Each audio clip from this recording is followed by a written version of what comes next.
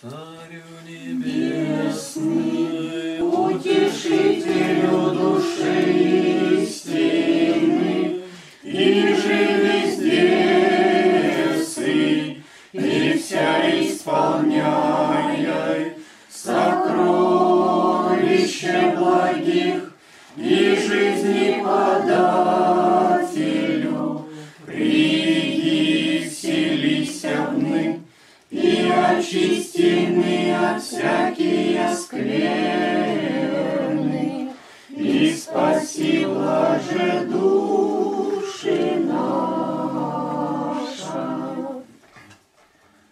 Господь и Бог наш, благослови предстоящее занятие, прибудь с нами, не дай нам уклониться ни направо, ни налево от истинного понимания божественных словес Твоих. Слава Тебе, честь и поклонение, Отец, Сын и Святой Дух. Аминь.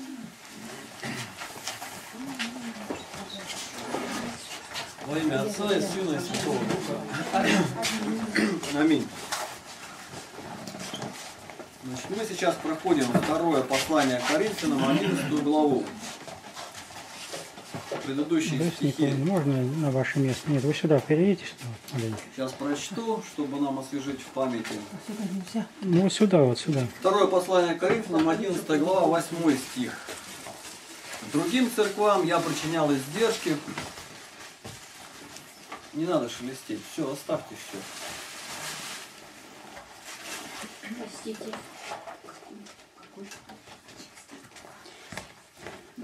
Второе послание к Коринфянам, 11 глава,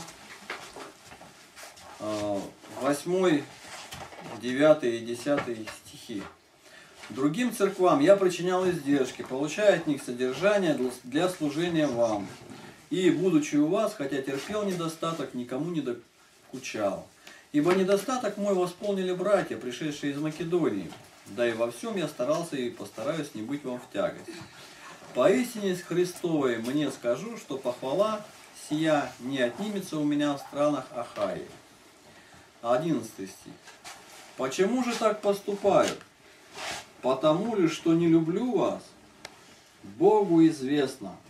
Но так поступаю, так и буду поступать. Толкование. Намереваясь объяснить причину, по которой он не брал от них, а именно по причине появления лжеапостолов, он этим подрывает подозрения Коринфянам. Коринфян, ты не берешь, как кажется, по ненависти к нам. Поэтому и говорит, я более люблю вас и не хочу оскорблять вас, потому что вы легко соблазняетесь. Но он не говорит так ясно, чтобы не постыдить их слабости, а обращает свою речь к другой причине. Что же это за причина? 12 стих. Чтобы не дать повода ищущим повода, дабы они, чем хвалятся, в том оказались такими же, как и мы. Толкование. Здесь совершенно ясно высказывает причину, по которой он не брал. Поскольку дьявол знал, что люди века сего преимущественно любят учителей, которые ничего не берут, то научил лжеапостолов и это истолковать по-своему. Ибо они не поступали в этом случае справедливо, хотя и были богаты, но уча не брать, брали. Поэтому он не сказал, чтобы в чем поступает справедливое, но чем хвалятся, что и составляет очевидный признак хвастовства. Итак, апостол, понимая это, положил себе за правило не брать у них ничего даже и тогда, когда нуждался в чем-либо, чтобы отразить нападение их и не дать места для порицания себя. Хотя это не могло быть предметом порицания. Потому что согласно с законом Христовым, поскольку коринфяне по слабости все-таки соблазнялись, то он и предохранил себя от этого. И, наконец, лжеапостолы, будучи ниже истинных апостолов во всем другом и в этом не имели никакого преимущества. Можно сказать, что они уступали бы им и в этом случае, если бы не брали, так как они были богаты. Но Павел не брал, терпя нужду. и что они несправедливо поступали, а лицемерили. Апостол же поступал справедливо.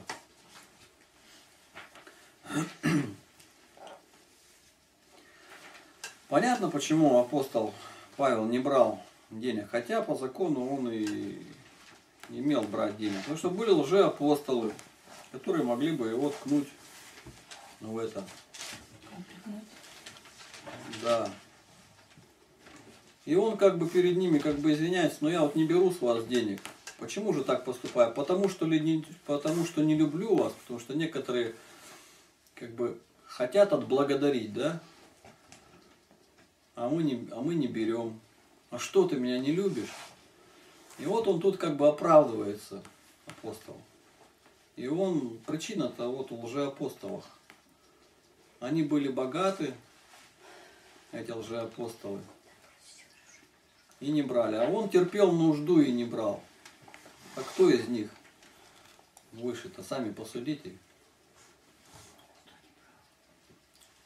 Апостол Павел не брал денег за учительство. Вот и выше, вот и выше. Тот и выше, потому что те были богаты и не брали. А он как бы себя сравнивает с ними. То есть вы посмотрите, перед этим он их обличал, этих лжеапостолов, упрекал их в то, что вы... Ну кого слушаете-то? Ну посмотрите, кого вы слушаете. Они над, на, там, говорил впереди, надменны, самохвалы. А здесь он прямо говорится, что они хвалятся, чтобы не дать повода, ищущим повода. Он, он э, лжеапостолов имеет в виду.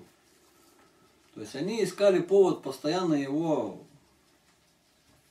укусить, э, упрекнуть, док- докопаться, по- по-нашему сказать. Вот. И он тогда решил, а я не буду брать, хотя терпел нужду. Вот. А они этим хвалились. Мы-то не берем лжеапостолы. Они были богаты. А вот он берет. Чего вы к нему ходите? Вы к нам ходите, мы-то мы-то не берем. И он тогда решил, а я тоже не буду брать деньги за учительство. Вот, чтобы эти лжеапостолы, а потом как перед ними-то оправдываться, а перед учениками-то, перед колесными. А, ты с нас не берешь, значит ты нас ненавидишь. И он им говорит, почему же так поступаю? Потому ли, что не люблю вас? Богу известно. Но так поступаю, так и буду поступать. То есть он как бы я не брал и не буду брать, вы не обижайтесь на меня. Это я ради вот этих лжеапостолов делаю, чтобы они меня не могли упрекнуть за это. Потому что они искали повода. Лишь бы только вот его опорочить в глазах Коринфян. Понятен смысл? И вот дальше он продолжает, 13 стих. «Ибо таковы лжеапостолы, лукавые делатели принимают вид апостолов Христовых». Толкование. Что ты говоришь? Проповедующие Христа, не вводящие иного Евангелия, как сказал выше, теперь стали лжеапостолами? Да, говорит, поэтому самому, ибо лицемеря в этом они вносят тайно нечестивые догматы. Лукавые же делатели, как только они кажутся созидающими, а на самом деле исторгают то, что было насаждено, и имея только наружность апостолов, суть поистине волки в овечьей шкуре. Вот чисто вот это вот сектанство сегодняшнее подходит.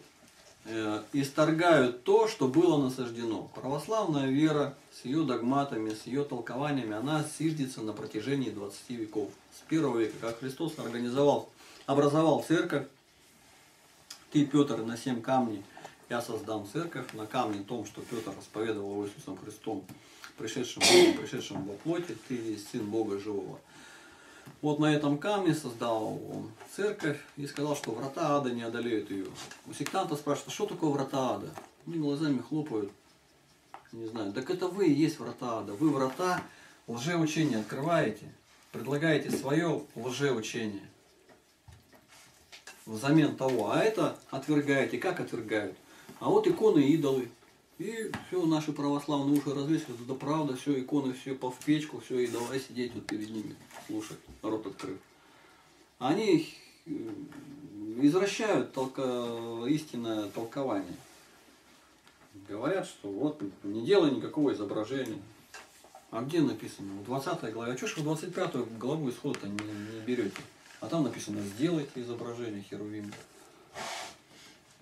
Вот. Свое Евангелие. Свое Евангелие, свою Библию издали, свой какой-то всемирный все новый пе- перевод, где о божестве Христа говорится, они все эти все по- повычеркивали, все неправильно. Да, я свидетель Иеговы имею в виду. Лжеапостолы принимают вид Христов. Опять их, э, опять вижу я их часто, стоят у них такие вот тележки с колесиками. И все, они только в галстучке бритенькие такие, все, вот.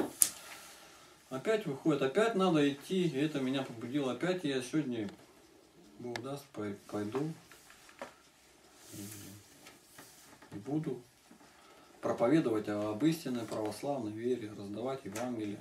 Слава Богу, что и наши православные стали издавать. И все, главное, подходят и все спрашивают, а вы не сектанты? Вы не сектанты? То есть все напуганы, все знают, что кругом сектанты проповедуют, а отличить волка от овцы сами не могут. И вот начинаешь с людьми беседовать, а понятия-то никакого. А вы наши? Вы православные? То есть наши? Что значит наши-то?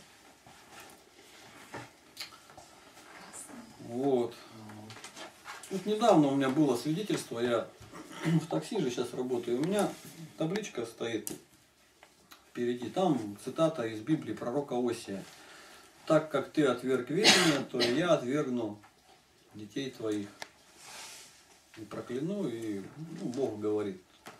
И клиент сел у меня, сзади жена у него, и он а можно спросить, что это? А сами немножко они подвыпившие. Мы вот православные, мы верующие, а что это вот у вас такое? Я говорю, это пророк Осия, цитата из Библии. А о чем здесь? Ну, он прочитал все. Я им сказал, если вы не будете читать Библию, изучать ее, то Господь ваших детей проклянет.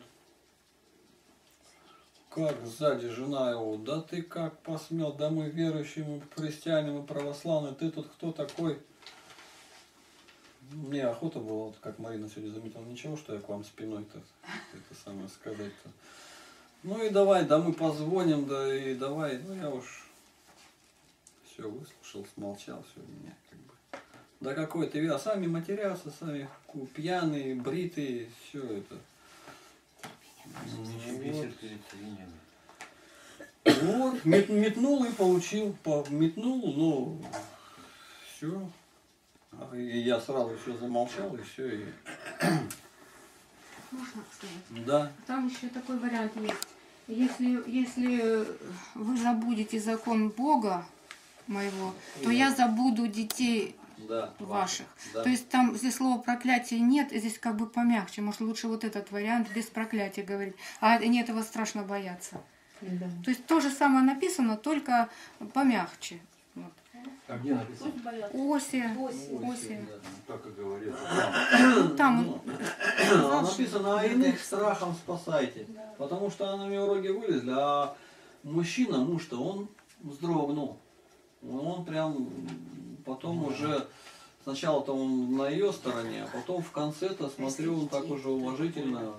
Я говорю, мне обидно, что называющие себя христианами ведут себя как лжебратья. То есть вот о чем говорится. И, ну, я вкратце это ему так как бы засвидетельствовал, без, без всякого там метания. То есть я ему объясню, мы крещеные.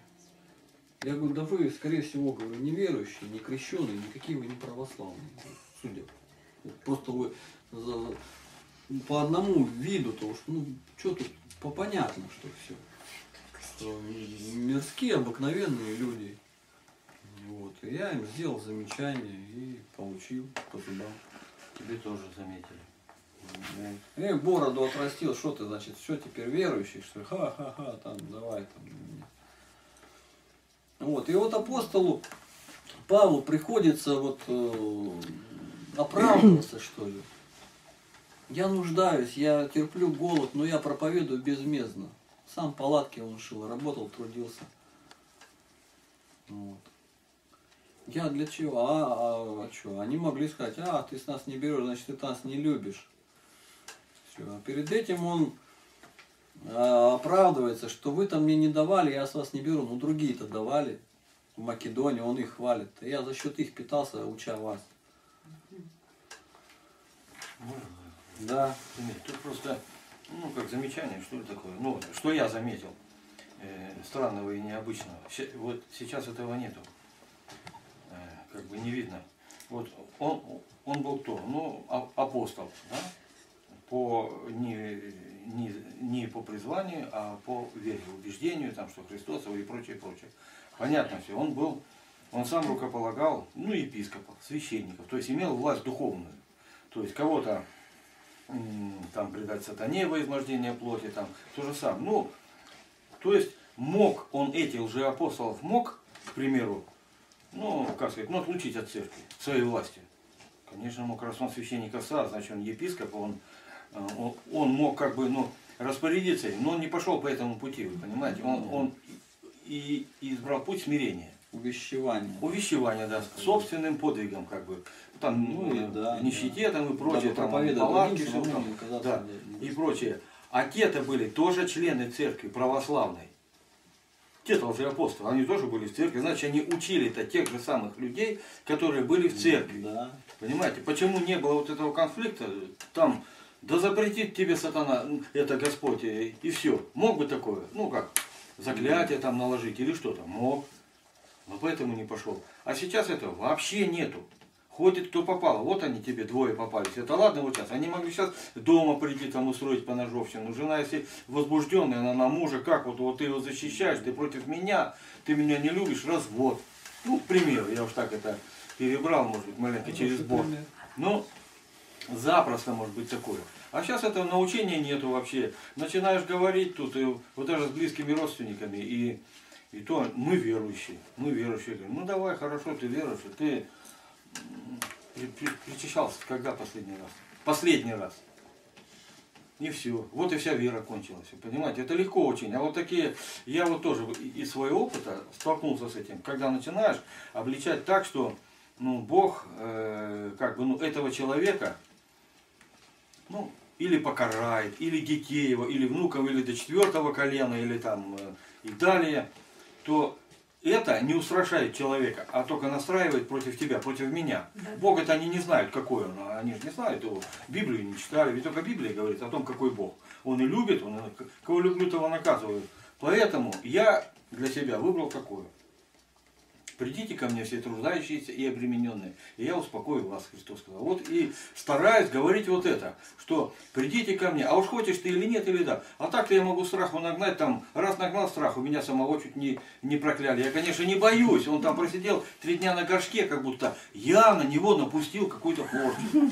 За то, что он, ну, он пил сильно. Я говорю, Серега, тебя, говорю, Бог так накажет, что ты забудешь о водке. Он, да, да я, что, ничего. И следом буквально три дня с горшка не слазил. Ну, печенькой отравился. Духовный киллер. Оказывается. То есть совпадение такое. Но у него на меня-то злоба. Чуть ли не с молотком и не с кувалдой за мной, понимаете? Ну я-то говорю, тебе добра желаю. Тут вот в чем опасность. И мы иногда э, невольно сами напрашиваемся в мученики. Чего как бы Господь не требует от нас, чтобы мы там голову клали и прочее. Ты, мы должны проповедовать. Может быть, как-то вот действительно надпись эту там помягче, помягче. Там, и, ибо так возлюбил Бог мир, ну, к примеру, Ну, что-то там. Тут по ситуации. Вот Да, где, да, где-то да, Христос да, да. и мягко, и Поэтому, кротко ну, в данной церкви, видишь, да, где-то апостол- брал бич и порол. Да, потому апостол- что опорол тех, которые в храме Божьем устроили вертеп разбойников. Вот это вот, вот этих вот, которые называют себя православными, верующими, и ведут себя как торгаши в храме, вот их надо пороть. Ну, их, как Христос. их Бог уже сделал. порит, потому что отнял разум. Ну, Они не знают Бога. изгонять их Ну. надо из храма. То есть Ну. устыжать, устрашать или там. Храмом-то не мы изгоняем, а, а Бог из, из- из храма только. Ну, Ну, вот так вот. То есть Христос- сейчас этого в храмах Нас нету. Епископы вообще этим не занимаются. Ну у нас-то изгоняют оглашенные языки. Ну да, у нас, все, и стоишь в коридоре. Почему этого добились? Ну, вот так вот. Слава Богу. Итак, продолжаем. 14 стих. И неудивительно, потому что сам сатана принимает вид ангела света. Толкование. Ибо раз учитель их, уже апостолов, сатана, решается на все, то нет ничего удивительного, что и они подражают ему, уже апостолы. Ну, они называют себя православными, они называют себя апостолами. Ангела света разумеет того, который имеет дерзновение, предстоит истинному свету, возвещает, что и Бог свет есть, а в нем Он есть свет. Дьявол преобразуется в такого ангела, но не бывает таким.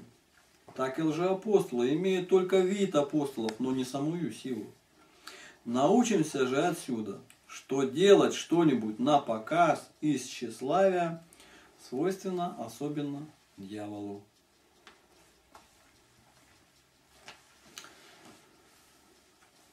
Комментарий. Господь называл лицемерами молящихся на показ. Это особенно свойственно православным в каждом богослужении с его неимоверной пышностью и театральностью. О проповеди на показ Христос не говорил ни разу. Вот в чем тоже нас упрекали, что вы вот снимаете на камеру, как проповедуете, это вот вы на показ все делаете. А Христос об этом ни разу не говорил, ни разу. Даже более того, апостол радуется и неискренней проповеди. Где это написано? Филиппийцам 1.18. Но что до того, как бы ни проповедали Христа притворно или искренне, я и тому радуюсь и буду радоваться. Итак, да вернется проповедь на свое законное первенствующее место и досядет на Моисеевом седалище, где сегодня угнездились молчаливая бездарность и трусливое корыстолюбие. Вот беда. Трусость и корысть, корысть и трусость в нашей церкви. Вот. У кого какие мысли? Нет пока. Ну вот тут, да, вот Да. там замечание филиппийцам, что, извините, руку не поднял, что м, это радуется тому, что проповедует, даже право или неправо. Хотя бы так говорят, ну, о Боге, о вере. Нет, брат, Ну, ну, ну, как, каждый еще нет, читает. тут, тут не, не, не, не право, не право. Еще давай читай. Притворно или искренно? Ну, Притворно это Притворно, ну вот. на, на, на, на показ. корысти ради. Да. Корысти ради. На Притворно. показ. Что он вот такой хороший. Не. Ну а как? Нет, При- нет, так, нет, давайте. Не. Притворно что такое? На показ. Нет. Ну, просто. То есть на самом деле Ну да, да, да, да, на, на показ. На показ. На показ. Но он проповедует истину. Ну, человек притворяется, значит он не такой, какой он есть на самом деле. Правильно? Ну, нет. Ну как? Но он идет, Ну, он, но он радуется, апостол Павел. Он Ну, говорит о Христе, о Христе говорит, но он говорит не, не ради того, что он искренне вот верит, а просто ему охота ну, показ, вот, чтобы Ну, все это о нем думали, какой, какой хороший проповедник. Ему Бог воздаст по его тщеславию. Да, вот Допустим, я, так допустим, сказать. иду сегодня на проповедь, и мне вот охота, чтобы вот, допустим, сказали, что посмотрели, вот Ну, какой Сергей какой вот молодец, мало, какой да. молодец. Вот это вот я притворно Понятно. пойду. Почему? Да. Ну, потому, Ну, у да. тебя желания нет этого делать. Откуда Ну, ты знаешь? Я пример привожу. Ну, я понял. И, но и ты и тому порадуйся, что я хотя бы так иду. Понимаешь? Вот, вот, Вот, вот это смысл. Вот и все. Вот и все. Да, Мариночка. А вот. Я хочу такой пример привести. Мода на религию сейчас, на религиозность. Мода. И это и есть вот неискренняя проповедь. То есть когда модно ходить в храм, стоять со свечами. Но и Господь и этому радуется, потому что кто-то все равно вот и среди вот этого тщеславия, среди вот этой вот моды э, начинает искать и находит истину. Да. Да. Да, то есть лицемерие на показ это плохо, но это из Но все равно зло у человека, меньше, все равно да. у человека Только. есть возможность взять Да. в руки Библию, вообще услышать что-то о Боге, Аминь. пусть даже это где-то вот проповедуется чисто вот внешне. Ну здесь да, вот получается вот как, это, извините опять, э, с теми сектантами. К примеру, баптисты. Ну да, это не церковь э, в библейском понимании, будем так говорить. Они придумали, священства нет и прочее. Но мы-то тоже радуемся, что они есть хотя бы. Мы через них Библию получаем. Они говорят о Боге, хотя бы они сами не пьют, не курят, не убивают и не режут. Хотя бы они сами. Ну, вот в чем дело. Бог сказал, много званых, но мало избранных. Нигде не сказано, что все люди будут верующие. Просто Евангелие будет проповедано всем народам. Это другое дело. Но кто придет, это уж, извините, у нас за все время существования Земли, ну, не один миллиард, допустим, было население, умерло. И тем не менее, что они все христиане? Да нет, конечно. Поэтому печалимся, да, жалко того человека, но жалко его труд и старания его, потому что они впустую. Э, Или тщеславие, или притворно, или корысти ради, там, ради денег. Все. Там все, кто собирает деньги, с них квартиры собрал и уехал за границу. Все. Вот тут в чем беда-то. А так-то, конечно, о Христе говорят, но через такое, видя их жизнь, ну, не знаю, мало приходит, э, как бы, ну, в православие. Вот, вот так сказать. Вот это сравнение современного сектанства, вот, вот она пустое, ну, как проповедь, неправая, притворная. Получается, с их стороны. Ну, продолжим сейчас, Да. может быть, понятно будет. Вот. 15 стих. А потому невеликое дело, если и служители его принимают вид служителей правды, но конец их будет по делам их. Толкование. То есть, как служители Евангелия, содержащего правду, или что они окружают себя самих славой праведных мужей, но не избегнут совершенно, ибо по делам их будет конец их. То есть дурной. Так что он делал их, мы узнаем их, ибо конец их будет э, соответствен их делам.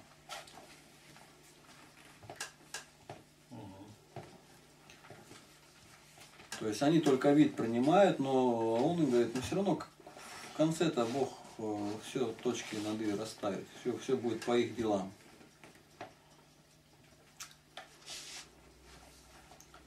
Э, 16 стих. Еще скажу, не почти кто-нибудь меня неразумным. А если не так, то примите меня, хотя как неразумного, чтобы и мне сколько-нибудь похвалиться. Толкование. Ибо хотя он и употреблял уже оговорки, но все-таки говорит, я недовольствуюсь тем, что сказано, но снова говорю, не почти кто-нибудь меня неразумным. Ибо просто хвалиться свойственно неразумию.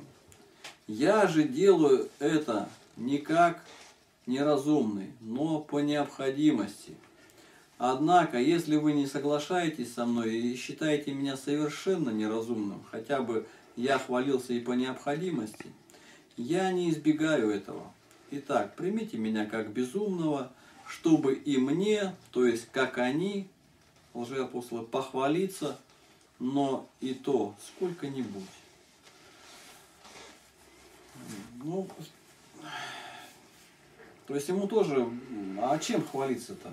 Чем вот те лжеапостолы хвалились? Кто может сказать? Чем, и чем хвалился Павел? Ну, Но да. они, они Павла обличали в том, что он, а, они проповедуют безвозмездно, без денег, а что Павел берет деньги с других. Ну, якобы, людей. якобы берет. Да, якобы берет. Поэтому они его вот в этом, э, а больше-то и не в чем его было и как бы не найти причину, что в чем-то он хуже их. Тут они, конечно, явно, и он поэтому смирился и объяснял свою ситу- ситуацию, что почему он тоже отказывается брать, потому что, чтобы не быть обличаемым со стороны лжеапостола. Да, тут слово обличаемым-то не подходит. Он имел власть брать деньги. Нет, тут ключевое слово похвалиться. А, похвалиться? Да. Ключевое слово. То есть похвалиться тем, что я не беру деньги тоже, как и они.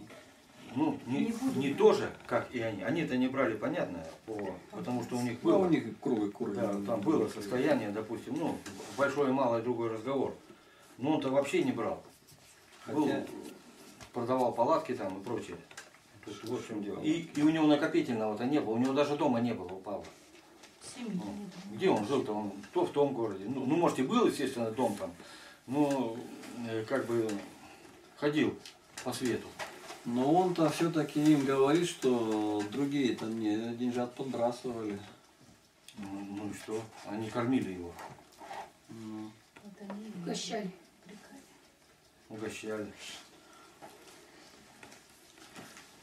А эти что его не кормили-то? Что у них совести не было, что ли? То есть, понимаете, тут, это извини, брат, А, они его не, не, не кормили, потому что у них были лжеапостолы, и те не брали денег. А что это? Эти не берут, а мы тебе что будем давать, что ли? ну тут Или видите, как? как бы намерения уже апостолы, будем так говорить, они от слова хвалились, отталкиваемся. Почему они хвалились? Потому что им нужна была слава, тщеславие. Что мы тоже апостолы. Да, Хотя да, они. Вид э, апостолов там, да, принимали, вид да. апостолов принимали. Вот и все. Вот и все. А, а тот-то, э, апостол Павел, он хвалился чем? Что он служит Христу. Не ради богатства. Вот в чем дело. Не ради накопительства, там, и не верблюда у него позолоченного, ничего Да, у него да, не да. было такого. А вот он чем хвалится. Потому что слово хвалиться как-то, ну, в христианстве оно неприемлемо. Э, В христианстве это скромность, там, э, целомудрие и прочее. Ну, вот такие слова применимы. А тут хвалиться. Что сейчас выйду кричать на улицу, я, я, да хоть ты весь крестами обвешайся, ну а толку-то, что, если веры нету, там это, ну, Он Вот говорит так. здесь неразумным, неразумным. Не почитайте меня. Почему? Я вот Да. ничего не беру, вы приносите мне, я ничего не беру. Ну, не думайте, что я такой неразумный. Ну, у тебя же нет ничего. Вот, может быть, покушать у тебя даже нет ничего. Ну, это же неразумие. Ну, почему ты не возьмешь, когда ты вот нас учишь? Да? Такая вот ситуация. Ну, не почитайте меня неразумным. Он говорит, неразумным. А если, а если даже так, ладно, я буду и неразумным в ваших глазах, но хотя бы мне похвалиться тем, что я вас научил. да, да, да, да, да. Безвозмездно. Считает, Да. «О, глупый, столько денег дает, он не берет. Да. Давай дальше. 17 стих. Что скажу, то скажу не в Господе, но как бы в неразумии при такой отважности на похвалу. Вот еще толкование. Что говорю, говорит, то не есть по Господе, но есть эти слова. Цель же этих слов совершенно в Господе. А не сказал в безумии, но как бы в неразумии. Ибо казаться, а не быть на самом деле в безумии, моя похвала. А чтобы ты не подумал, что он везде говорит, как безумный, или не по Господи, он говорит, что скажу, а не другие мои слова.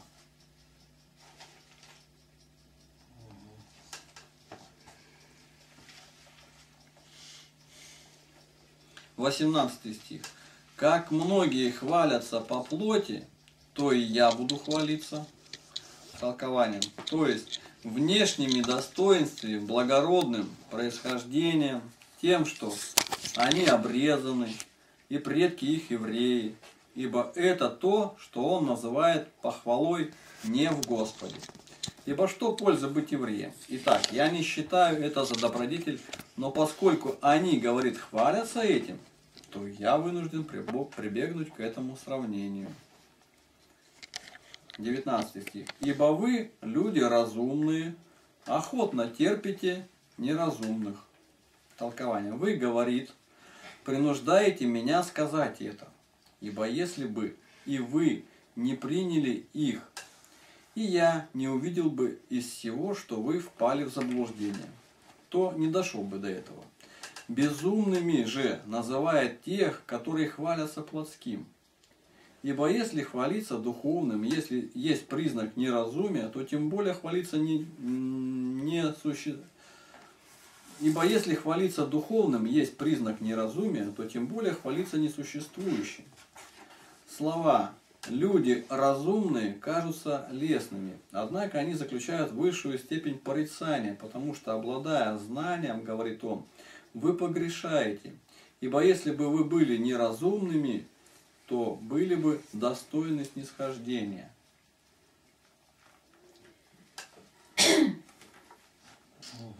Ну что, Николай, растолкуй своими словами. Что ты понял? Да тут все понятно. Понятно, лучше это не В затрагивать. принципе.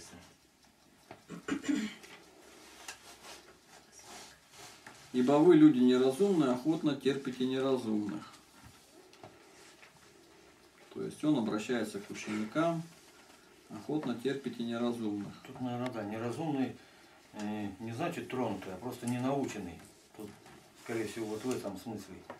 А то неразумный с неразумными, он что, на луговой находится или там? Ну нет, он бы не там? беседовал Ну с да, ними. он к ученикам к своим, потому что не наученный. А Он кого так он охотно терпите неразумных? Он кого себя имеет в виду или, Ну, себя якобы он там, что, или вообще как бы? Глупый Павел у нас, по-моему, денег не берет, живет где попало, спит там где-то в степи, там, ну, к примеру, да.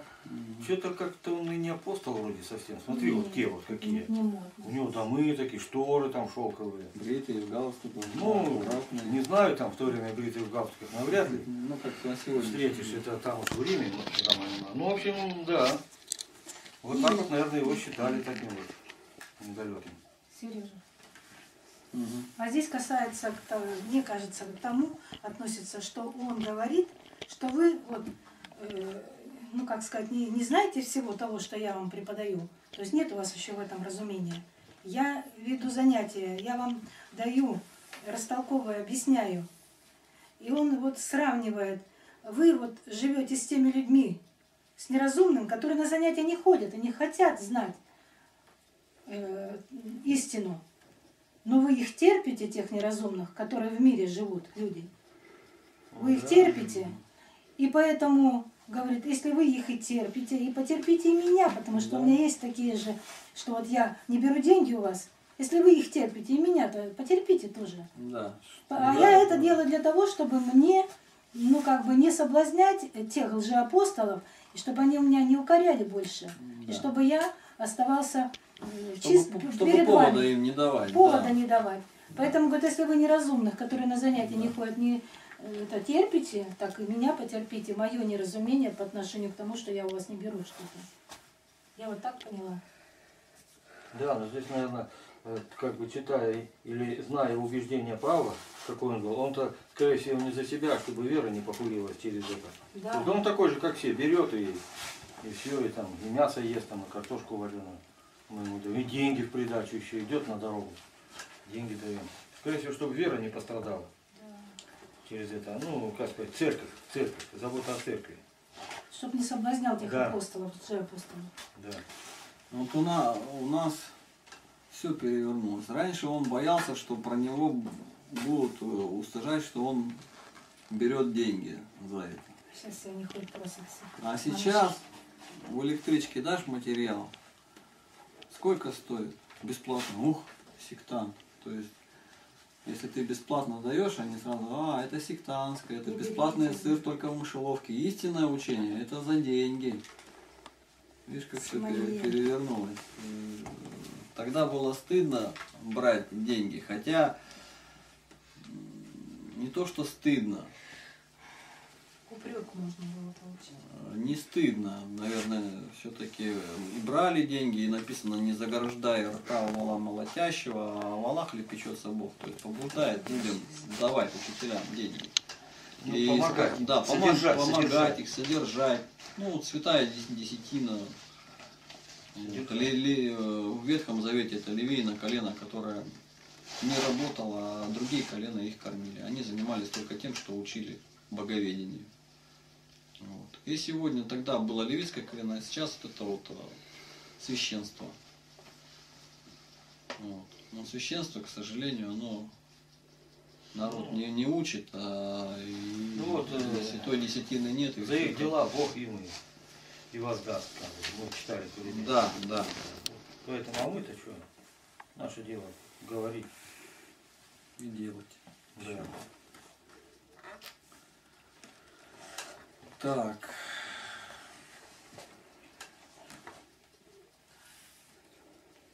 Двадцатый стих. Вы терпите, когда кто вас порабощает, когда кто объедает, когда кто обирает, когда кто превозносится, когда кто бьет вас в лицо. Толкование. Смотри, в каком раболепстве и крайнем подчинении лжеапостолам изобличает Коринфян. Видишь ли, что он представляет их обирающими, ибо сие выражается словом «объедает». Таким образом, и то, что он сказал выше, а они чем хвалятся, сказал хорошо, поскольку притворяясь не взимающими ничего, они только хвалились, а не были таковыми на самом деле. То есть на самом деле-то они брали. Они только говорили, что мы ничего не берем. А в тихушечку там, наверное, они... А уже апостол имеешь? Да, ну вот, слушай. Ну, их кормили. Ну, ну ясно, да. Без- Ну и сували им в карманы, только они говорят, это, не, не, но, Его бра- брали, но они не говорили, но они говорили, что мы не берем. Ну они сами дают, что он брал? Да, я, я не брал.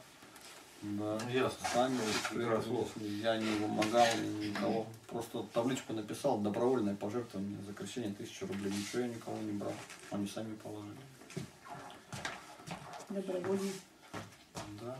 А тысячу рублей я указал, ну чтобы они не соблазнялись, они же не знают, сколько положить бедолаги. Я по любви к ним написал тысячу рублей, чтобы их совесть не мучила.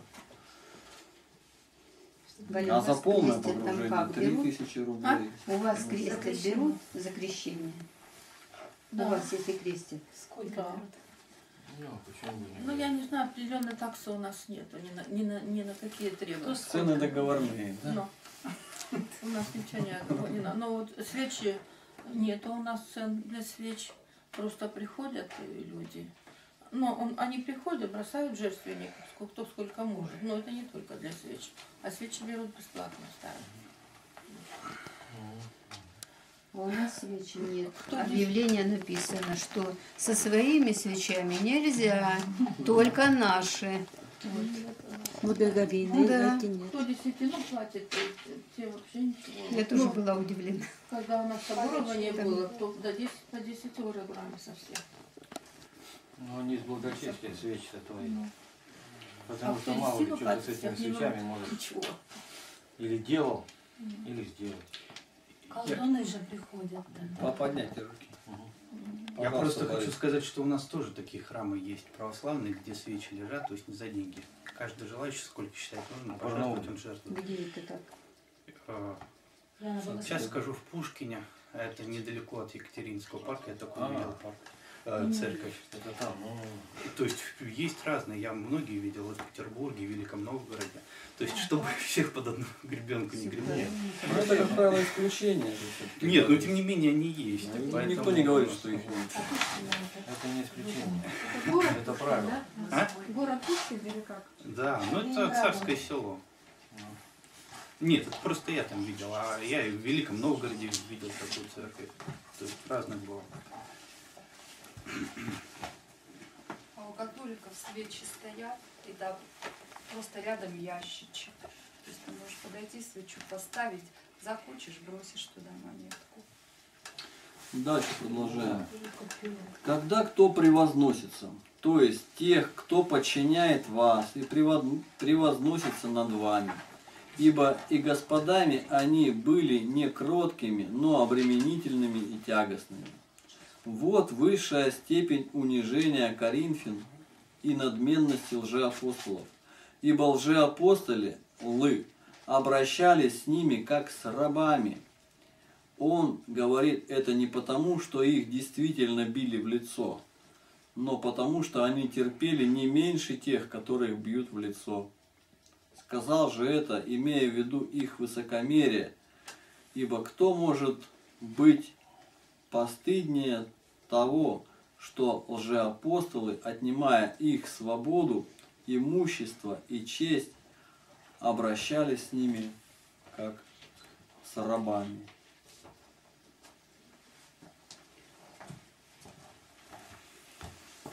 Да. Ну, у кого какие вот.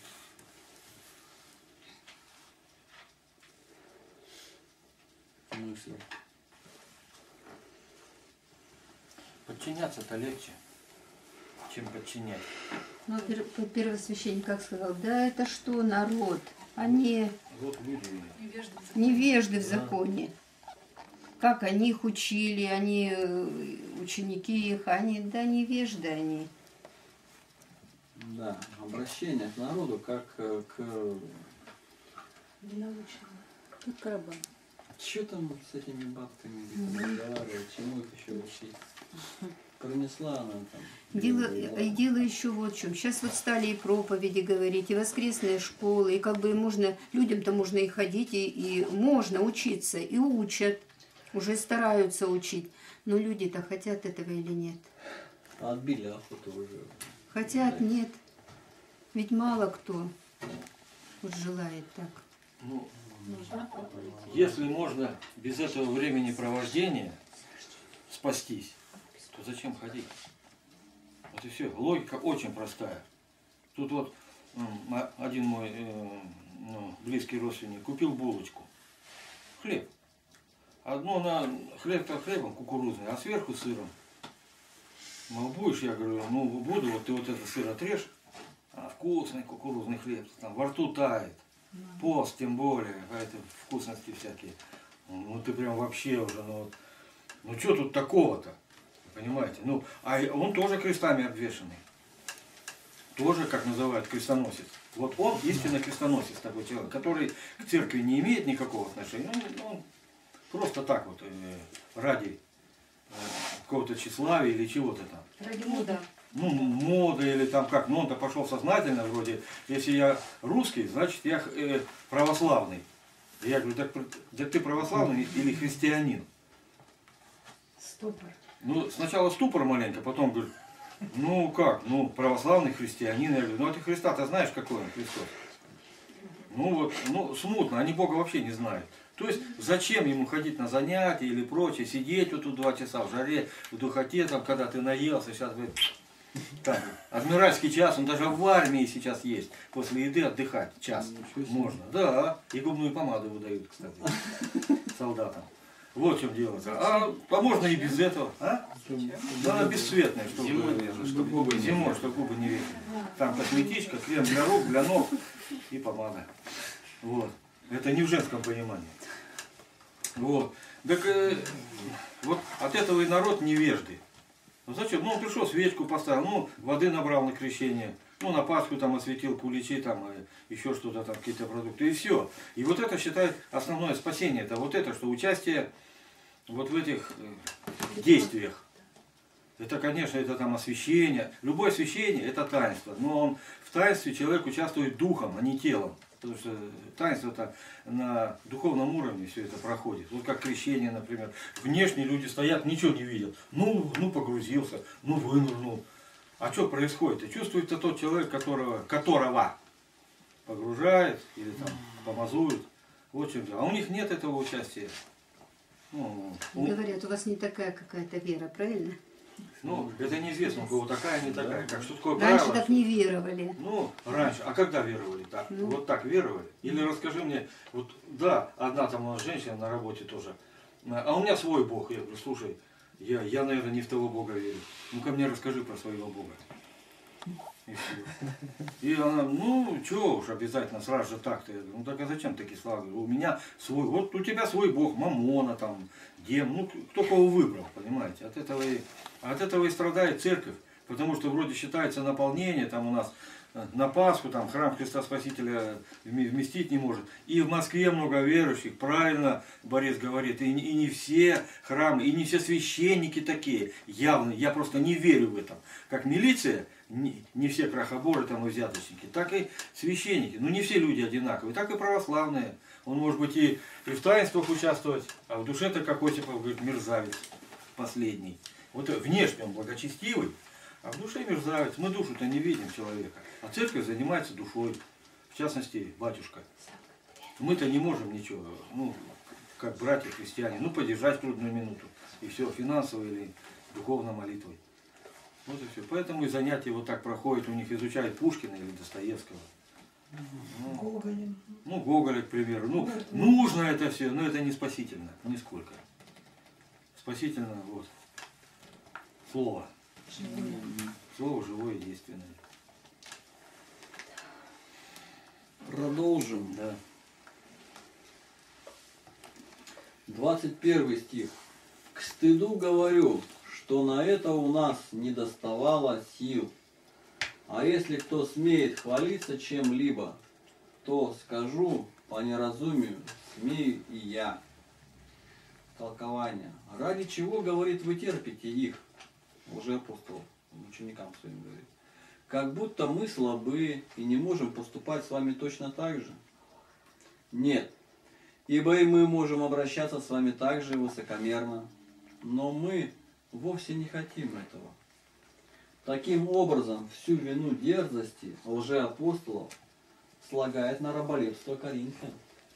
Ибо вы, говорит он, вследствие слишком рабского подчинения служите причиной их высокомерия и этих наших слов. Смотри, он опять называет свой поступок дерзновением и неразумием, и только что не говорит, я приступаю к этому по необходимости. И сколько других оговорок представил он прежде этого. Делает же это, научая нас не прибегать без необходимости к таким речам. Итак, говорит, а если кто смеет хвалиться чем-либо, смею и я. Ибо слово «хвалиться» подразумевается само собой. Зачем перечисляет, затем перечисляет то, чем они хвалятся. Чем же они, эти, хвалились, лжеапостолы? Сейчас узнаем. 22 стих. Они евреи, и я. Израильтяне, я. Семя Авраамова, я. Толкование. Поскольку не все евреи были израильтянами, ибо и моавитяне, и аммонитяне выдавали себя за израильтян, то очищая превосходство своего происхождения, прибавляет и следующее, указывает на Исаака. 23 стих. Христовы служители. В безумии говорю, я больше. Выскочка как бы какой, да? А тут он говорит, в безумии. Я гораздо более был в трудах, безмерно в ранах, более в темницах и многократно при смерти. Толкование. Некоторые говорят, что он не должен был высказывать эти слова в виде сравнения, а должен был прямо сказать, что они не служители Христовы. Отвечаем, что он показал это одним словом, назвал их лжеапостолами. Теперь же, начав речь сравнительную, он представляет наглядное указание на то же самое и дает понять слушателю, что он сам действительно служитель Христов, а они нет. Посему говорит, что хотя они и служители Христовы, но и в этом я выше их. И опять называет свои слова неразумием по безмерному смирению – перечисляет отличительные признаки апостолов и, оставив знамения, начинает с искушения. «Я поднимаю, — говорит он, — много трудов, переходя из одного места в другое, уча день и ночь, делая при этом своими руками, и что важнее, претерпевая удары, и при том чрезмерные, и что еще выше, подвергаясь вместе с ударами заключению под стражу слова гораздо более стоят в сравнительной степени и выражают сравнение с лжеапостолами. Он говорит как бы предположительно. Положим, что они трудятся. Но я тружусь гораздо более.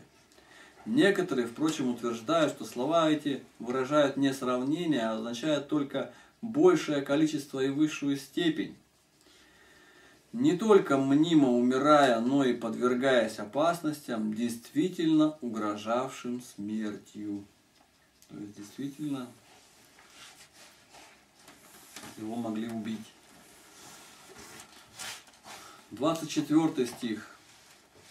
От иудеев пять раз дано мне было по сорока ударов без одного толкование. Почему без одного? Существовал закон, по которому получивший более 40 ударов лишался чести. Почему определено быть, определено было давать 40 без одного, то есть 39. Для того, чтобы если бьющий, увлекшись, дал лишний удар, все-таки дал бы не более 40. И побиваемый не лишился бы чести, так как и в этом случае он подвергался узаконенному числу ударов. Вот придумали, что если 41, то обесчестил. А если 40, ну нормально. Поэтому говорит, а мне 39 давали, что если фон разойдется, еще один раз сверху бракнет, то он не обесчестит меня. Понятен смысл? Имел право подать на суд, наверное. Ну, он мог, конечно, и... Но я не знаю, как, как кто так придумал, что 41 обесчестил, а 40 это нормально. Закон. Тут ты тут 20 получишь уже. Говорит. Кажется, что тебя обесчестили, унизили, размазали по стенке. и. Тут, конечно, Да. ну, Тут 40 терпи, а вот 41 уже можешь суд подать. За благочестие ратовал. Чё, Сейчас он на Украине тоже. Если ты идешь умирать, вот он такой у них, значит ты сам имеешь право убивать. А если ты готов страдать, то ты можешь мучить и других. То есть это правый сектор. Вот, вот примерно у евреев вот так же. Других 40 ударов. Если, если сам готов умереть, ну убивай других, значит. Тебе не страшно умирать, ты готов. А ему бесчестие, без одного удара. Ну, у них закон строгий был, что сапог выкинул на улицу, вместе с ним жена пошла. Ну, к примеру сказать, вот и все.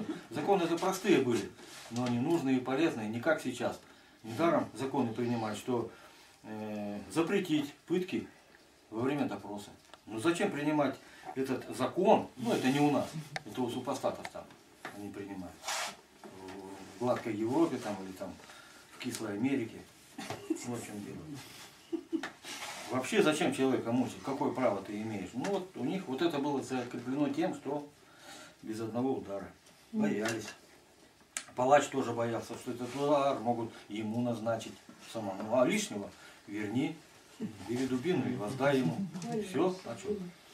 Это если бы Око за око, да, как бы так вот. до смерти. Это, это уж я так думаю, что мог вернуть. Ну, я думаю, суд подаст, как так меня, Гражданин. римского гражданина, без суда и следствия. Да. Да, вот и все. Без суда не имели 41 удар. Хотя этот гражданин мог там рабов убивать десятками за день. причем. А его не смеет пальцем тронуть. Ну, римское право. Считается оно как бы первое, ну, правильное. Закон. Ну, Закон.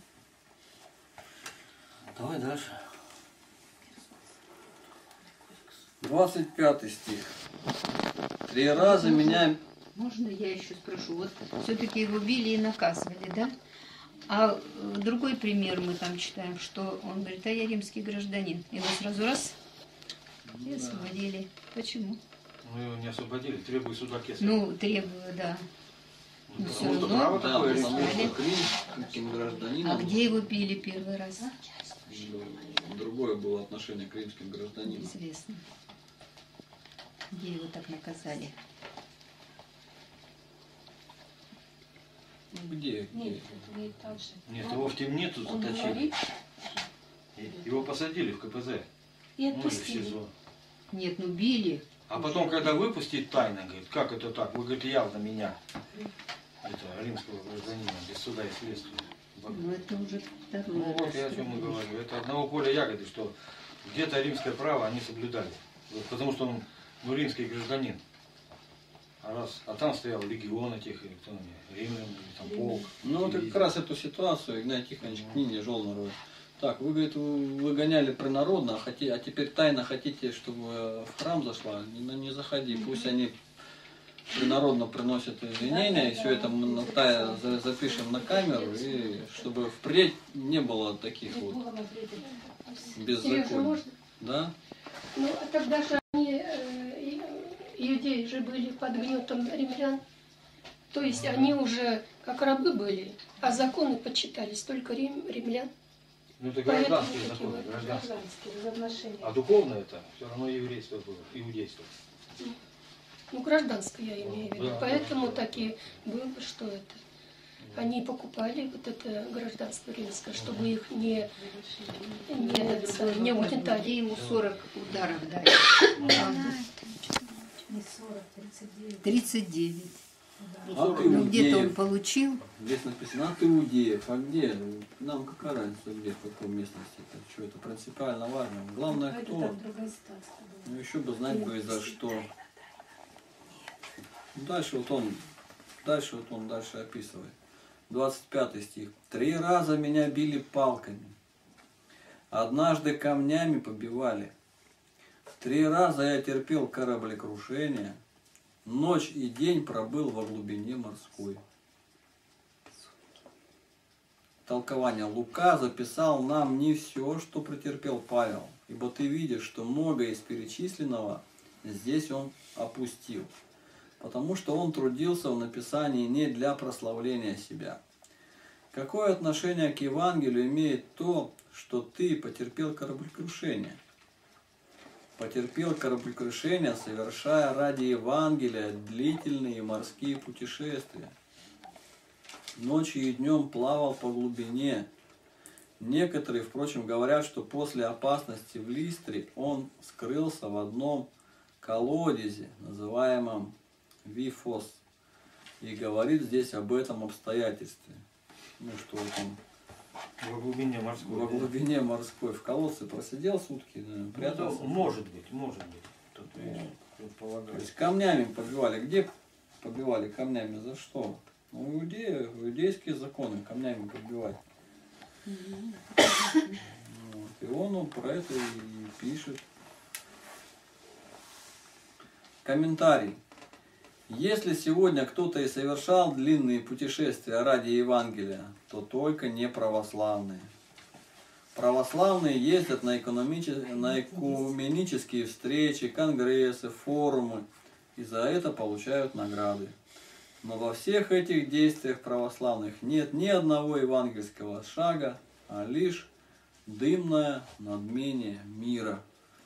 Но это было издано в 2002 год, а сегодня уже спустя 13 лет уже мы так не скажем, Игнатий Тихонович. То есть он говорит, если сегодня кто-то и совершал длинные путешествия ради Евангелия, то только не православный. То есть это уже можно уже в архив. В историю. Надо, да, в историю. Сейчас уже можно сказать, если сегодня кто-то и совершал длинные путешествия ради Евангелия, то только не православный. Уже так не скажешь. Уже православный проповедник Игнатий Тихонович уже совершил длительные путешествия ради Евангелия. Евангелие в благовестии, в книгах. Я там был по милости попал. Да, пожалуйста. Сегодня как раз вот э, от э, собора нашего Покровского, Коробедникова пешком идут люди. То есть Пошли опять. пошли Крестный ход, да? Сказать? Да. Но, ну а вот, вот ездили наши эти православные, а, вот святой Николай Понский. Он же ведь ездил с проповедью в Японию, а Макарий Алтайский тоже. Разве Да, нельзя сказать, знаю. что это они ездили ради Евангелия? Тоже ради Евангелия. Ну, конечно, и таких много было. Но По миру ездили. Православные. Здесь, сестра, слово ключевое сегодня. То есть М. В этом веке. В этом веке ну, не найдется никого. А тогда было, да. Ну, японский-то был в прошлом веке, но все равно недолго. Недолго. Ну ладно, это, это мы не будем к букве привязывать. Это на совести автора. Всё, Ну, остается, да. в 21 веке кто, кроме Игнатия Лапкина, совершал длинные путешествия? В советское время, конечно, никто не ездил. Ну, а, а этот без рук, без ног. Не, ну, из православных. Тут ключевое слово православные. Проповедь. Давай дальше. Да. А вот я просто недавно читал Андрей крестный ход с. Владивостока был и через всю Россию. Ну, то есть там по принципу, кто может, присоединяется, Да, да, потом было, сколько да. пройдет. И так на каждом этапе подключались. В итоге от Владивостока дошли, да, по-моему, чуть ли не до Калининграда. Хотя насчет Калининграда не уверен, до Москвы, скорее всего. Ага. С иконой. Ну, Иконой. тут видишь, чем дело. А проповеди-то где? Конечно, это Походу, где идут, где Нет, вот, присоединяются. ну, это считается, что проповедь, то же самое. Да. Потому что вот помню этот, э, э, мы как-то были Петра и Павла на Южном в храме, Николай Бурдин, он там служил, был настоятелем этого храма, и он говорил проповедь. Ну, в то время. Сколько уж было? Ну, ну, лет больше десяти назад. Ну, неважно. И вот он сказал так, что говорит, а вы говорит, попробуйте с крестом пройтись по улице. Да. Попробуйте. Вот и все. Я сначала думал, ну вроде а что такого. Мгм. А вот ты попробуешь по иске походить по улице. Хотя бы просто. Это ну, элемент одежды. Женщины ходят и ничего. А вот мужчина, сразу же оклики, мужчины, это не вы косметичку потеряли? Или там губную помаду? К примеру Почему? сказать, понимаете? А? Почему косметичка? Ну с У меня за Ну, поясок ни разу Я вообще говорю, что бывают такие слова, и вот, что, ну, ты, ты как баба. Ну К как он, как в Алена, юбке ходишь. ну, надела платок на работу, что, говорит, Ну. это, холодно тебе шапку надела для Ну, подкалывания. Так вот и дело. Вот попробуй. Неделю Это тоже своего рода. Юбку, и за платок, и вообще это. Ты где работаешь? Я, это, это малое частное предприятие, Мгм. за автоспецкомплект. Там делают краны задвижки нефтяникам. Мгм. Вот, и сперва это просто хохот такой, потом начальник в дверь зашел. э, Ну, то есть вот есть хозяин самый, вот тот, кто вот здесь смотрит в этом муравейнике. Мгм. Он зашел, говорит, Лен, тебе не жарко, не холодно, шапку одела, пошел. Прям с такой злостью, потом какое-то время даже это так ну а дальше со дело. стороны уже слышно было за вот так дверь открыта, за косяками. Что я там только не слышала. Я сейчас пойду из мешка сошью себе тоже шапку, буду ходить. Ну, не от То есть, большого ума. Да, были фразы такие, хихи, ха-ха, ну ничего. Это Сейчас уже- было. Да, я сейчас вот уже получилась третий, третью неделю. Я на своем, да, и так хожу. Уже сейчас, сейчас все Помоги, хорошо. Господи. Нет, сейчас уже все, да, уже и здороваются, и говорят, да. Ну, женщины, конечно, одеваешься, когда домой идешь. Они вот так сразу смотрят. В Москве вообще хиджаб Ну, ничего. уже. Ничего, мужчины зауважали. Ну, да, Женщинам правильно. пришлось принять. Главное, что мне, Ну, слава Господу, приняли. было приятно. А, да, да, да. Победила. А самое, а самое А главное, я и не пыталась побеждать, я просто Ну, со Христом. дань Богу отдала, он мне дал место и семью, а я вот сразу, мне было приятно. Леночка, самое главное, знаешь, мужчины разные бывают. Никаких похотливых взглядов уже не будет. Да, На сто да, вот это сразу, потому что у меня были проблемы до того. И тут, конечно, был и мужчина выпивший зашел уже позже, через три недели, сказал, ты понимаешь, что ты живьем себя похоронила. Ты для, для нас всех, Для мира. 56 мужчин было, и все на тебя вот так. Все влюбились в тебя. А теперь, говорит, ты просто-напросто себя похоронила, да. И я говорю, а это и хотелось. Как бы вот. Они видят живые мощи, только ходят. Вот и была фраза такая. Что-то хотели? Но Ну, я хотела сказать, что я, мы тоже, когда начали носить платки, нас никто не оскорблял, и никто не, никогда не обиж- ну, обидных слов не говорили. А вот что интересно, муссульмане всегда приветствовали нас. Да-да-да. Салям алейкум. Да, да. А сейчас много очень черных приехало. Вот, ну, они, я не знаю, кто они, эфиопы или нет. И православные у нас тоже, они сейчас к нам в приход ходят. Ну, они с нами не причащаются, а, ну, а, они сирийцы, что ли. Ну, они черные. И вот одна у меня там в, в моем городе, она всегда при- приветствует меня. Она расшаркивается, так улыбается, всяко ко мне подходит. А, а она по-немецки-то не говорит, а говорит, салям алейкум, я говорю, вот, так. Она говорит, я, я говорю, bin Christian, ортодокс христиан. Ну, я христианка. Да? А почему тогда вот так? Я говорю, так правильно? Ой, она так обрадовалась. А мне вот еще интересно было, раньше же все как-то одинаково относились, а здесь сразу видно, либо тебя шо- ш- шокируются, здрасте, сквозь зубы и убегают, либо вот так, здравствуйте, ну, да, здороваются. Ну, то есть на работе у нас... Благочестиво. Да, вот люди сразу, вот либо прям так... Да. Их сразу вот народ вот этот видно, что либо и бежать, и ни слова то разговаривали, а тут ну, вот это вот сильно заметно было. Но они тоже лучше становятся от этого. Я Понятно. думаю, что, Да. Свое, ну вот, э, по крайней мере, я по себе знаю, да. это все равно. да. Перестают даже там, бывает, материться уже, Мгм. или вырвется, так он, ой, Николай, извини, я вот тут. Я-то ни при чем, там, сейчас. Господь Бог есть, Он за каждое слово тебе. То есть, да, вот так вот действует на окружающих. Хотя бы элементарно. Платок это не значит, что православный. Это вот как многие кто ходит. Ну, раньше были, вот у меня кабинет, он маленький, и вот три женщины, я и две рабочие. И были такие разговоры, сколько раз я говорила, выйдите туда, потому что Да. ну невозможно. Не- Сейчас они, конечно... Вот, вот. О, я есть так ссору говорю. этого нету. А тоже как начинается, я говорю, рабочий кабинет, выйдите там в кафе или где-то там в углу поговорите. Сейчас нету, Да, сейчас да. не скажешь. Меняются, да. Это уже. Да. Слава А Богу. борода Коля защищает Очень. от женских От, от комаров. От, жары взглядов А если сгорит, я говорю, борода сгорит, снова вырастет на работе со сварщиком там. Вот, говорю, если кожу опалишь, кожа трудно восстанавливается. Поэтому горела и не раз борода, поэтому ничего страшного. Защищает. Они, они просто удивляются, как, как ты в меру упитанный, в рассвете сил мужчина и себя дедом каким-то делаешь. Ну, Я говорю, хочу быть не старым, а мудрым. Ну, Мне тоже так сказали. Поэтому Ты молодая девочка, и так и... Ну ничего. Ничего. Пусть жуют. Ну, А, 26 стих.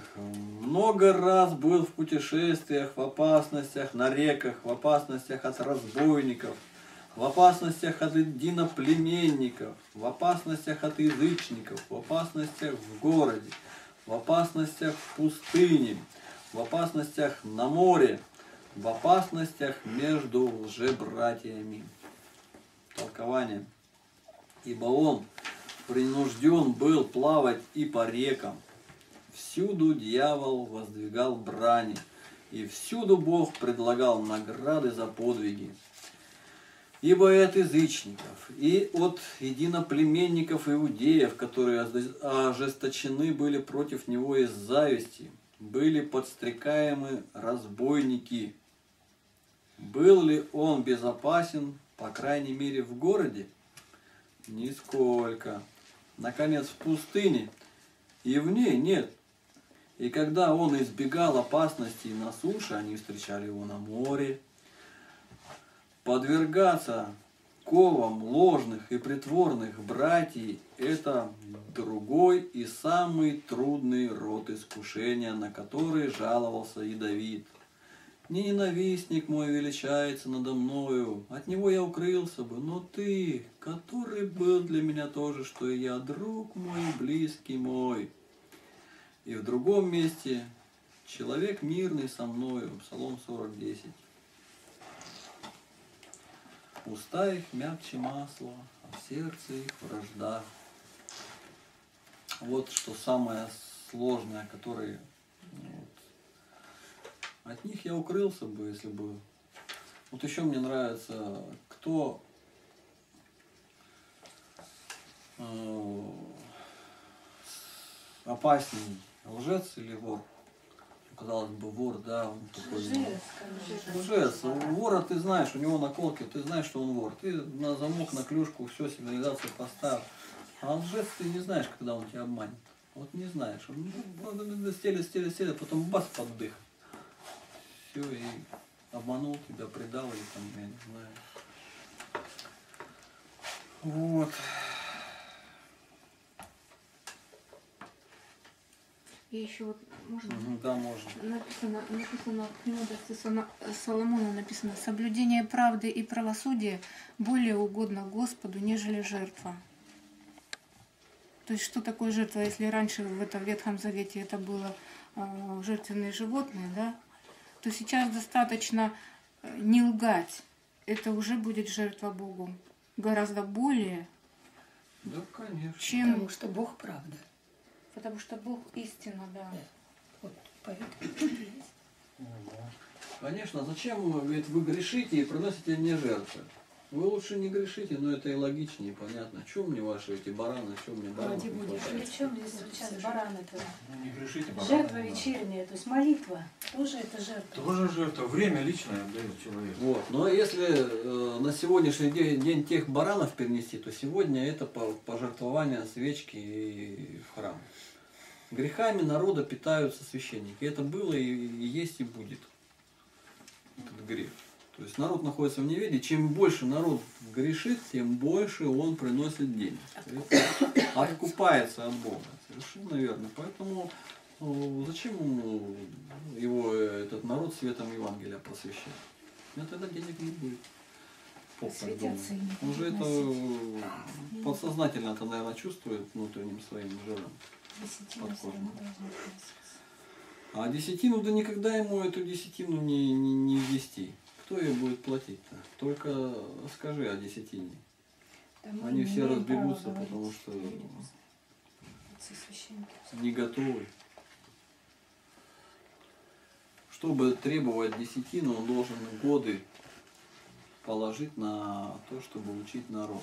А Вон сколько, 50 лет. Да. Десятину нужно приносить туда, где ты питаешься духовно. Они должны нас тихо. питать духовно. Да, если вы посеяли нас э, духовно, велико ли то, что пожнете от нас телесно? Велико ли то, что я вот там Что принес там картошки или что, если я здесь, душа моя питается. Священники, они даже не хотят. Что, потому что это большая ответственность перед людьми. Они боятся даже. Я принесу десятину. Времечко быстро летит. Дайте мне, пожалуйста, листочек и надо написать, что мы на чем остановились. Ну, Или напишите второе послание Коринфянам. А? Вы платите Второе послание Коринфянам, а, 11.27. 11. Они же у вас берут? Второе Коринфянам 11.27, чтобы Да, в следующий да, раз да, мне... да, да, я написала. Ну и вот некоторым я людям объяснила, они тоже платят. Можно ее и тихонько класть. Не только мы. Ящик. Следующее занятие, значит, с 27 У стиха. нас, знаете, мы Мы перечисляем. А, карточки. Так, у кого какие еще по занятиям? Да нет, нормально. Нормально все, слава Богу, провели. Живы все, здоровы. Не подрали. Разрешите?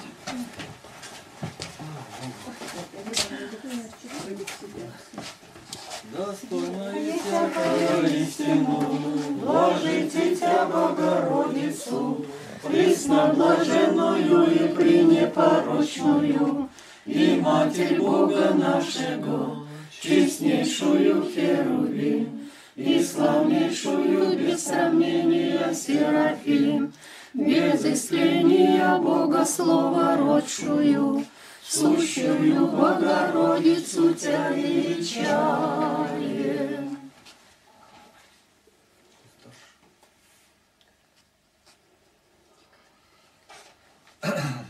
По милости Господа мы не исчезли, ибо милосердие Его не истощилось. Оно обновляется каждое утро. Велика верность Твоя. Дай нам, Господи, вместить эти слова в себя, не отступать от истины э, и прожить это дни и оставшиеся дни нашей жизни по заповедям Твоим, не отступая ни от закона, ни от канонов церковных, Господи, ни от Слова Твоего. Прибудь с нами, научи нас молиться, возносить Тебе хвалы, и сам Духом Твоим Святым молись в наших сердцах, Господи. Тебе слава подобает Отец, Сын и Дух Святой. Аминь. Аминь. Спаси Христос, повара. Слава Христу.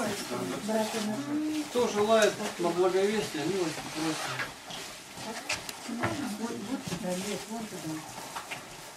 Слушай, вот эти вот это самое. Так, надо съесть и это самое. Что? Да. Да, да, да. Простите. Потом вот. А Потом у Раисы Николаевны поедем.